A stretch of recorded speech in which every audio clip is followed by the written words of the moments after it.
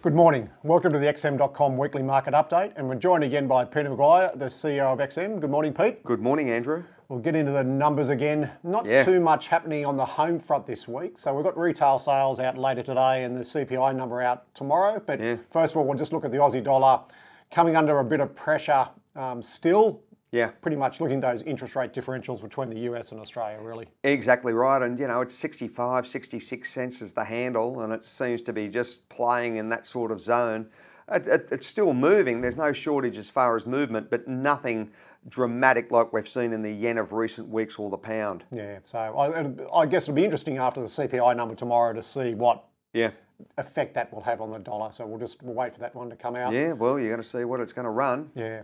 Is it going to be a good news story like the Japanese or a bad news story like the POMs? Well, that's right. Japan, that CPI dropped 1%, Yeah. which when you look at what's happening around the globe, that's a, it's a big drop. Yes, it is. Well, when you look at the metric, I mean, it's 25% from in the sense of the size of the fall, but yeah, 1% is a monstrous move to the downside. Yeah, so it's, um, they won't be putting up interest rates anytime soon. No, You with you Mr. Ueda, the new, um, he he comes into play, I think, start of next week. Hmm. Uh, Governor Ueda from Bank of Japan, and I think he's got an easy task ahead of him. Looks Kuroda like says uh, sayonara and uh, konnichiwa for Mr. Ueda. That's it. The yen, though, around Yeah. the 130 and a half mark. So Yeah. that's, that's what been struggling a bit too. Yeah, well, you can see what it, I mentioned earlier, that March number where we've seen a high, that's, you know, that nearly at 137, 138, and now at 130. They're just dramatic moves. And what we've seen since really the start of the year has been spectacular for currency traders for the Japanese yen. If you only traded one market, that's the market to trade. Yeah, well, the, the chart tells a story, doesn't it? Sure plenty does. Of, uh, plenty of movement there. Oh, no shortage. Huge. UK, on the other hand, UK CPI went up slightly, which Yeah. they wouldn't have been too happy about considering it's already above 10%. Exactly. Well, they were all analysts and all the expectations. That's why it's so hard to hit. And you know, I get phone calls. What's it, what do you think it's going to be? I don't even put a hat in the ring because you can be out and made to look foolish. And everyone was saying that we're going to see um, inflation drop. It's going to be you know a continuation from that slide down, and it just um, yeah went the other way. So Yeah, and if you look at that chart there, it's quite sticky around that. Yeah, that um, 10 uh, plus. Yeah, it, it is. So it's be interesting if they can get that under What, control. And what the issue is, you've got to go back to that April 22 because that's a year on year number. Um, and you've already had a bigger uptick as far as April 22 inflation, where it was. And so that move to the upside, 10% up from there, is a dramatic number. As this goes forward, if we're still above the 10s and you're now at July to October bandwidth, then that's not a good sign. Uh, I suspect uh, interest rates will be going up in the UK again, as they did last week. So Yeah. Now, And, and with the ECB. That's right. So the Fed futures is sort of interesting. Like it's a bit of a busy chart, but that light Yeah. blue line is effectively where we are now. So, Yes. but if you look out the, the dark blue one at the bottom there, that is the expectation of where um, they think rates will be in December of this year. So obviously that's nine months away, but that's Yes. effectively saying the rates would be anywhere between 25 and half a percent lower Mm. by the end of the year. Okay. Well, um, strap yourself in. It's going to be a bumpy ride till then. It is, and uh, once again, the futures market, uh, you know, it can change very quickly. Very quickly. Yes, yes. So Nasdaq, it's been a bit of a, uh, a standout this year so far. There's First three months, you've got to say that first quarter's been outstanding for yeah, it. Yeah, it's been good, and obviously what's happened in the last couple of weeks with the Mm. banks. So obviously that's affected the uh, the S and P and the Dow more so than Yeah. the Nasdaq. But certainly there was a bit of a flight to safety last week of money flowing back into those big tech stocks. Exactly. And uh, yeah, as you, you were saying off air, you know, their cash reserves are just that larger than countries' GDPs.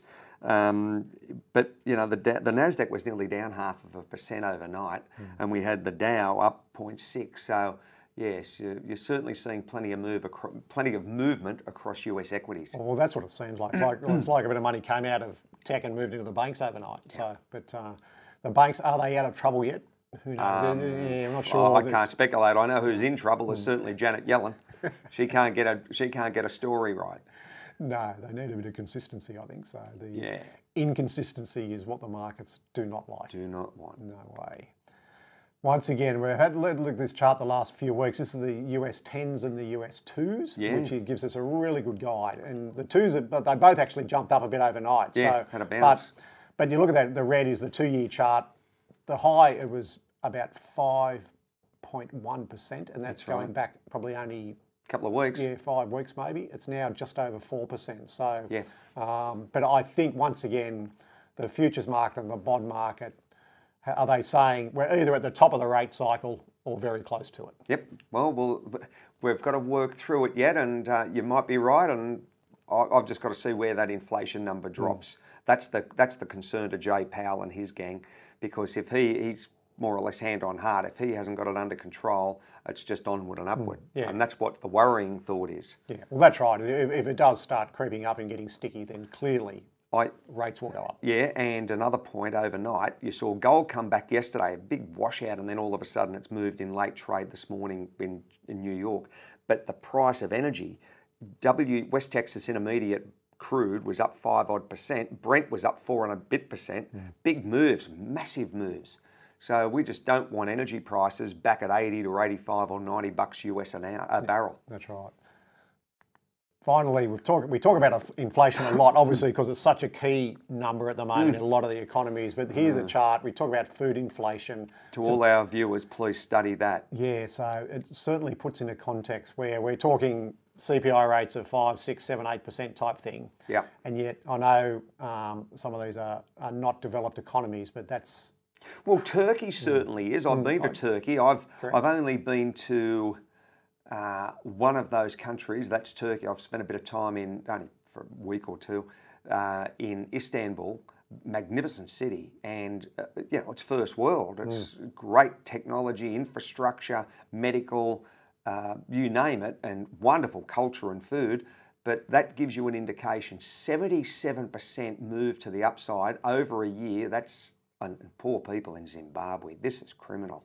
yeah, no, it's, I mean, you know, it's a food basket, Africa. Why, why the hell have they need, you know, inflation at that high? Someone's doing something, Andrew. yeah, no, it's hard to get your head around, but it's Yeah. uh, yeah, it's it's unfortunate. There's no doubt about that, but it's uh, yeah, crazy numbers. They are crazy numbers. I mean, and when you look at that Suriname, they're, they're bread baskets of the world in a lot of ways. They're agricultural rich. Haiti, Rwanda, Sri Lanka. Sri Lanka's, you know, great rainfall and fantastic agricultural lands. It just seems, it seems very strange. I think it's the, the government in Sing- uh, Sri Lanka has probably got a fair bit of uh, blame put on them, particularly in recent so. times. Yeah, all, Yep. all, the drama that's been going in there recently. But anyway, it was just an interesting Oh, chart yeah. to finish off. So, um, but we'll keep an eye on things over the next couple of weeks with the, Oh, yeah. the stats and whatnot. So, Yeah, absolutely. So we don't want that number to climb. That's one number from mankind to mankind. You want, you don't wish harm on people, No. and that is, you know, you're starting to feel that now. People are saying to you in Sydney, you know, a dozen eggs are costing X, and price of everything. So we've we've been hit hard with inflation here. Mm, yeah, no, certainly in the media, that's for sure. So, anyway, thanks for joining us again. Good to see you. Great, thanks, Pete. Thank you, Andrew. And that's the XM.com weekly market update.